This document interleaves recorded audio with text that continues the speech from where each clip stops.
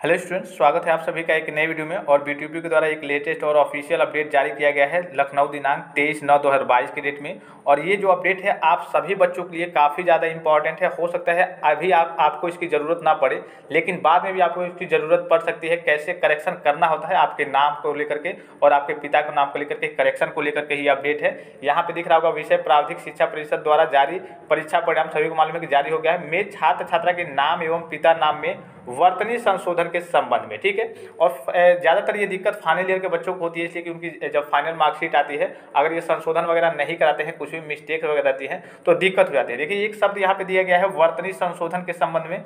वर्तनी से मतलब क्या है? सपोज़ कीजिए कि आपका नाम है मुकेश अंबानी। सपोज़ कीजिए, हालाँकि आप है नहीं, लेकिन सपोज़ कीजिए, ठीक है?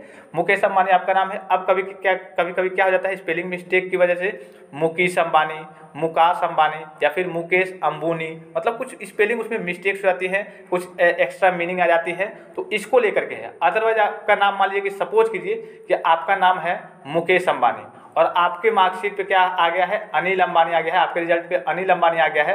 अब आप सोच रहे हैं कि हम अनिल अंबानी को मुकेश अंबानी करा लें तो नहीं होगा। इसलिए कि आपका नाम अनिल है तो अनिल में कुछ जो आपके प्रोनाउंसिएशन में कुछ चीज़ें मिस्टेक्स रहेंगी मीनिंग वगैरह, केवल उसी का करेक्शन होगा। अदरवाइज़ आपका पूरा नाम, पूरा डाटा का करेक्शन नहीं हो पाएगा। जो आपका नाम है, उसमें भी जो भी मिस्टेक्स होंगी स्पेलिंग मिस्टेक्स वगैरह होंगी, इधर उधर होंगी, उसको करेक्शन होगा, उसका करेक्शन होगा, और आपके पिता के नाम में इस तरीके की दिक्कत होगी उसका। ये नहीं कि आपका नाम कुछ और है, और डायरेक्टली आपका कुछ और। जैसे मान लीजिए बहुत सारे बच्चों का आधार कार्ड में होता है सपोज़ कीजिए कि आपका नाम है सूरज कुमार, ठीक है? और कभी कभी आपके जैसे कि आधार कार्ड में है आपका सूरज कुमार और इस मार्कशीट पे आपके रिज़ल्ट पे आ गया है सूरज कुमार यादव करके टोटल करके। अब ये नहीं कि आप उसमें एक और ऑप्शन ऐड कर लेंगे या फिर निकाल लेंगे, ऐसी बात नहीं है। आपका जो भी नाम है, जो भी उसमें मिस्टेक्स होंगी स्पेलिंग मिस्टेक्स होंगी, सीधे कहने का मतलब है, वर्तनी के सीधे कहने का मतलब है, जो आपका नाम है, पूरा नाम है, उसमें कुछ स्पेलिंग मिस्टेक्स इधर उधर, ए, ई आई मतलब इधर उधर लग जाता है कुछ, उसको लेकर के है और आपके पिता के नाम को लेकर के। इसलिए कि ज़ाहिर सी बात है, नाम बच्चों के मिस्टेक अलग रहते नहीं है स्पेलिंग ही मिस्टेक्स होती है तो ये सभी बच्चों के लिए और सभी कुछ बता ज़रूर देंगे। सभी आपको अपने व्हाट्सएप ग्रुप में वीडियो को शेयर ज़रूर कर देंगे। कि सभी बच्चों को इन्फॉर्मेशन देखिए, आपके एक, मान लीजिए कि आपने शेयर किया, हो सकता है आपका इसमें कुछ दिक्कत ना हो, आपका डाटा वगैरह गड़बड़ ना हो, लेकिन आपके चलते और भी बच्चों को जो इन्फॉर्मेशन मिलेगी, इसलिए बहुत सारे बच्चे पूछते भी है कमेंट करके कि सर कैसे होगा नाम करेक्शन या फिर पिता के नाम का करेक्शन कैसे होगा, कब होगा? तो फाइनली उसके बारे में अपडेट सारी चीज़ों को देख सकते हैं, कैसे करना है वो भी मैं आपको बताऊँगा। देखिए यहाँ पे, जैसा कि आप अवगत है कि प्रावधिक शिक्षा परिषद द्वारा सम सेमेस्टर, यानी वार्षिक विशेष बैक पेपर परीक्षा का परिणाम दिनांक बीस नौ दो को घोषित किया जा चुका है। परिषद द्वारा जारी परीक्षा परिणाम में यदि किसी छात्र छात्र छात्रा के नाम अथवा पिता के नाम में वर्तनी संशोधन वांछित है, देखिए वर्तनी कहा जा रहा है तो संबंधित छात्र छात्रा द्वारा परिषद की वेबसाइट, यानी कि आप खुद जाके करेंगे, कैसे करना है अभी मैं आपको बताऊँगा। www.btp.ac.in पर उपलब्ध लिंक जनहित सर्विसेज़ का प्रयोग करते हुए संबंधित छात्र छात्रा द्वारा आवेदन सबमिट किया जाएगा।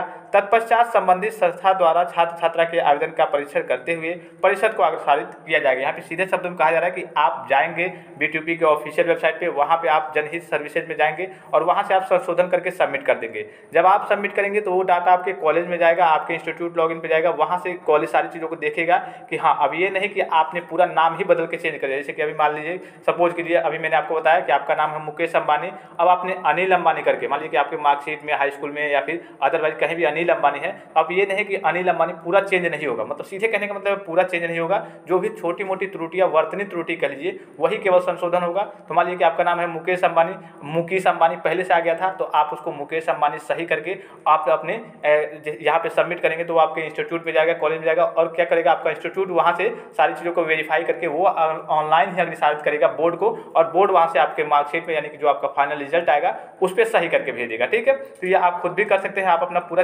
डाटा देख भी सकते हैं कहाँ तक आपका काम हुआ है।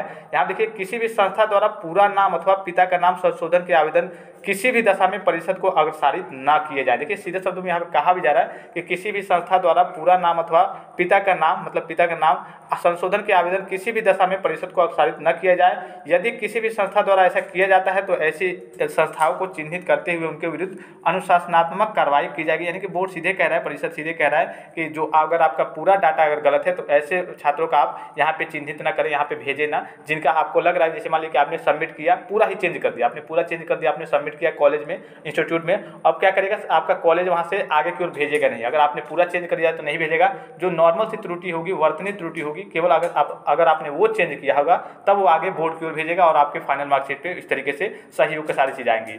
अब देखिए, यहाँ पर अतः आपको निर्देशित किया जाता है कि संलग्न दिशा निर्देश के अनुसार अपनी संस्था के अध्ययनरत छात्र, छात्राओं को सूचित करते हुए आवेदन करवाना सुनिश्चित करें। साथ ही यह भी निर्देश दिया, किया जाता है कि अंक तालिका प्रिंट होने के पश्चात किसी भी दशा में संशोधन नहीं किया जाएगा। यानी कि जब आपकी अंक तालिका अंक तालिका यानी कह लीजिए कि आपकी मार्कशीट वगैरह प्रिंट हो जाएँगी, उसके बाद से कोई संशोधन नहीं होगा। तो इस पर विशेष ध्यान देंगे सभी बच्चे। जिसके हेतु जिस, जिसके हेतु संस्था एवं संबंधित छात्र छात्रा स्वयं जिम्मेदार होंगे। अतः आप सभी को निर्देशित किया जाता है कि पंद्रह, दस, दो बाईस तक उक्त कार्य पूर्ण कराना सुनिश्चित करें। यानी कि पंद्रह, दस दस, दो बाईस तक लास्ट डेट कह लीजिए है। यह विशेष ध्यान दिया जाए कि किसी भी संस्था द्वारा पूरा नाम अथवा पिता का नाम संशोधन के आवेदन किसी भी दशा में परिषद को अग्रसारित न किया जाए। या मतलब न किया जाए। यदि किसी भी संस्था द्वारा ऐसा किया जाता है तो ऐसी संस्थाओं को चिन्हित करते हुए उनको विरुद्ध विरुद्ध अनुशासनात्मक कार्रवाई की जाएगी। शब्दों में अभी मैंने आपको सारी चीज़ें बताई। अब देखिए यहाँ पे सारी चीज़ें करना कैसे है आपको ये समझ लीजिए। यहाँ देखिए रेक्टिफिकेशन ऑफ़ मार्कशीट छात्रों के अंक पत्र की त्रुटियों की शुद्धता कैसे करना है, वो भी प्रोसेस में आपको ऑनलाइन तरीके से बता रहा हूँ अभी चाल के। यहाँ देखिए छात्र छात्राओं के नाम, पिता के नाम में त्रुटि के संशोधन के लिए जनहित सेवाओं के अंतर्गत छात्राएँ त्रुटिपूर्ण अपने अंकित नाम अथवा पिता के नाम में संशोधन करवा सकते हैं। इसके लिए छात्र छात्रा को परिषद की वेबसाइट बी के ई सर्विसेज़ जन जनहित लिंक के माध्यम से जनहित गारंटी एक्ट का चुनाव करना होगा। अभी मैं आपको बता रहा हूँ लाइव चल के। तत्पश्चात छात्र यदि प्रथम बार जनहित सेवा का उपयोग कर रहा है, कर रहा होगा तो उसको अपना पंजीकरण करना अनिवार्य है। यानी कि अगर आप पहली बार यूज़ कर रहे हैं इसका तो आपको एक रजिस्ट्रेशन भी अलग से करना होगा वहाँ पे, ठीक है? और अनिवार्य है, जो कि अत्यंत सरल है, जिसमें छात्र छात्र को अपना इनरोलमेंट संख्या देना और जन्मतिथि और मोबाइल नंबर की प्रविष्टि करनी होगी। यहाँ पर देखिए, इस तरीके से आपका पूरी चीज़ें, यहाँ पे पूरा ब्यौरा दिया गया है नीचे, सारी चीज़ों को मैं आपको दिखाऊँगा। उससे पहले चलिए मैं आपको लाइव करके दिखा दूँ कहाँ से ये सारी चीज़ें होंगी। आपको अपने गूगल या फिर क्रोम ब्राउज़र में सर्च करना है बी टू पी यहाँ पर जो ऑफिशियल वेबसाइट आएगी, इस पर क्लिक करना है। उसके बाद से आपके पास जो इस प्रकार का इंटरफेस ओपन होगा तो यहाँ पे आपको स्लाइड करना है, नीचे की यहाँ देखिए ई सर्विसेज़ जन हिंदी यहाँ पे आपको क्लिक करना है, ठीक है? जैसे इस पर क्लिक करेंगे, आपके पास दो ऑप्शन आएँगे ई सर्विसेज़ स्टेटस तो स्टेटस जब आप एक सारी चीज़ें सबमिट कर देंगे, उसके बाद से आप अपना स्टेटस भी यहाँ से देख सकते हैं, और उससे अगर आप करना चाहते हैं करेक्शन करना चाहते हैं तो जन हिंद गारंटी एक्ट यहाँ पर आपको क्लिक करना है। उसके बाद से यहाँ पे क्लिक करने के बाद आपके पास देखिए, यहाँ पे कुछ इस प्रकार का इंटरफेस ओपन हो गया है, यहाँ पे बहुत सारे ऑप्शन आएँगे।